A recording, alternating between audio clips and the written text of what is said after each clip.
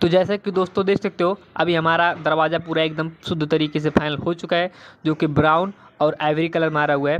तो चलिए इसको हम फुल डिटेल में बात करते हैं कि दरवाज़ा पहले कैसा था और अभी हमने इसको कैसे पेंटिंग की। तो दोस्तों वीडियो में अगर आपको हमारी वीडियो कहीं भी पसंद आती है, अगर आपको हमारी वीडियो से कुछ सीख मिलती है तो प्लीज़ आप चैनल को ज़रूर सब्सक्राइब करें और लाइक करें। अगर आपको हमारी वीडियो से कुछ सीख नहीं मिलती है, आपको हमारी वीडियो अच्छी नहीं लगती है तो प्लीज़ आप डिसलाइक करें।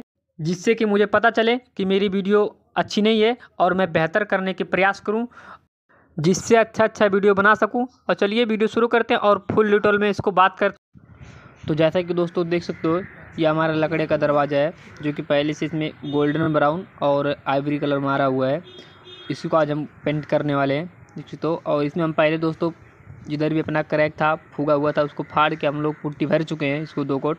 और भर के किधर किधर घस लिए और किधर किधर घसने का भी थोड़ा बाकी भी है। जैसा कि देख सकते हो धार भी घसने का बाकी है। इसको भी हम घसने घसेंगे। और ये पाँच साइड अपना घस के हो गया है। तो इसको घसने के लिए देख सकते हो, ये हमारा डेढ़ सौ नंबर का पॉलिश पेपर है, जो कि सूखा पेपर है, देख सकते हो, डेढ़ सौ नंबर का है। इधर देख सकते हो, ये डेढ़ सौ नंबर का है। इससे हम अपना घस लेंगे पूरा। जिधर भी मिट्टी विट्टी लगा है धूल बिल, और जिधर अपना पुट्टी भरा है, उधर भी। इस अच्छे से पूरा घस लेंगे, फिर उसके बाद में हम कलर लगाएँगे। चलिए इसको हम पहले पूरा घस लेंगे बढ़िया से। और आपको एकदम बढ़िया से घस लेना है, क्योंकि जब भी आप अच्छे से घस के घस लेंगे तो फिर बढ़िया रहता है। और ये देख सकते हो हमारा एशियन पेंट का है एप्पो लाइट प्रीमियम मुल्सन जो कि ब्राउन कलर है। मैं आपको दिखा देता हूँ एक मिनट। देख सकते हो इधर ब्राउन कलर है, ब्राउन है। और ये दोस्तों देख सकते हो, इसका रेट है कितना? पंद्रह सौ नब्बे रुपये लिखा है, लेकिन आपको बारह से तेरह सौ में आ जाएगा। तो आज हम इसको ब्राउन करने वाले हैं, जो कि पहले से ये गोल्ड गोल्डन ब्राउन था, लेकिन अभी हम ब्राउन करेंगे। देख सकते हो, खाली ब्राउन, ये हमारा ब्राउन कलर है। और दोस्तों, देख सकते हो, ये हमारा रोलर ब्रश कुछ है। ये देख सकते हो, हमारा रोलर है।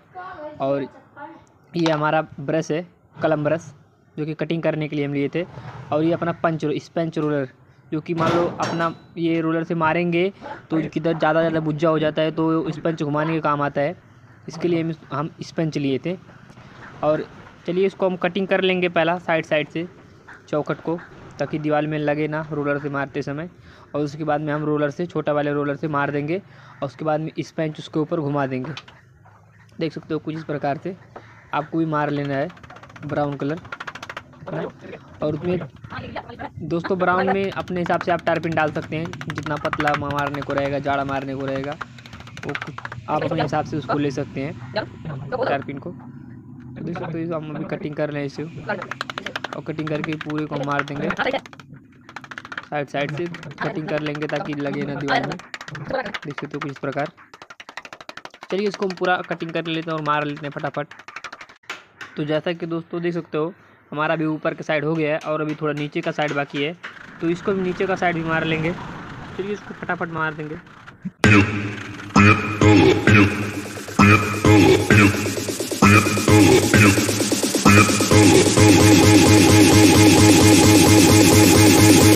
जैसा कि दोस्तों देख सकते हो, अभी हमारा जो ब्राउन कलर था, वो अभी फाइनल हो चुका है।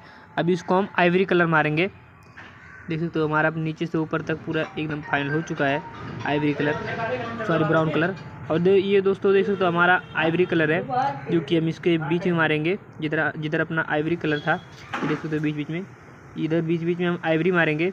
तो चलिए इसको हम आइवरी मार लेते फटाफट। और हम अपना आइवरी कलर ये कलम ब्रश से मतलब पॉइंटिंग ब्रश से मारेंगे। नहीं तो ये मान लो रोलर से मारेंगे तो फिर ये अपना ब्राउन कलर में टचअप हो जाएगा इसके लिए हम इसको कलम ब्रश से ही मारेंगे देख सकते हो कुछ इस प्रकार से चलिए हम इसको पूरा आइवरी अपना मार लेते हैं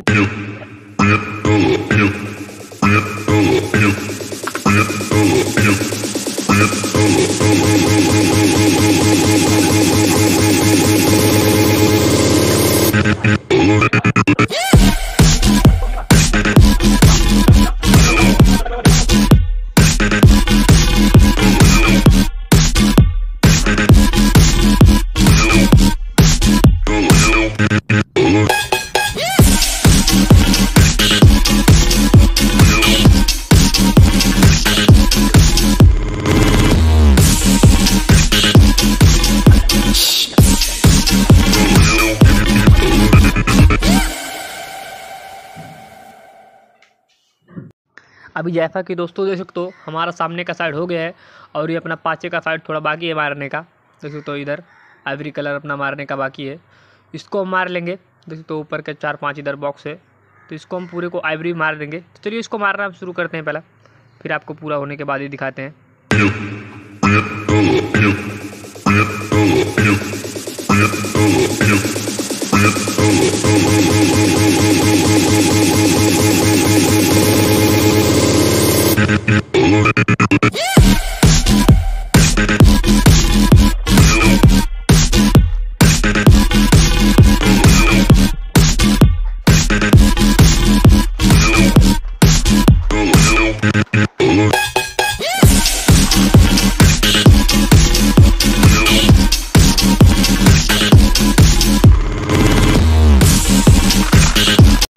तो जैसा कि दोस्तों देख सकते हो, अभी हमारी पूरी तरह से एकदम दरवाज़ा पूरा कंप्लीट फाइनल हो चुका है। जैसा कि देख सकते हो, एकदम पूरा बढ़िया दिख रहा है, काफ़ी खूबसूरत दिख रहा है, काफ़ी अच्छा दिख रहा है, काफ़ी एट्रैक्टिव दिख रहा है। और देख सकते हो तो दोस्तों, अगर आपको हमारी वीडियो पसंद आई हो, आपको हमारी वीडियो से कुछ सीख मिली हो तो प्लीज़ अगर आप चैनल पर नए हैं तो चैनल को सब्सक्राइब करें और साथ साथ में बेल आइकन को प्रेस करें ताकि आपको हमारी आने वाली वीडियो आप तक पहुँचती रहे। और मैं इसी तरह का वीडियो लाता रहता हूँ हमेशा। तो चलिए आज की वीडियो बस इतना ही। मिलते हैं किसी नेक्स्ट वीडियो में। तब तक लिए बाय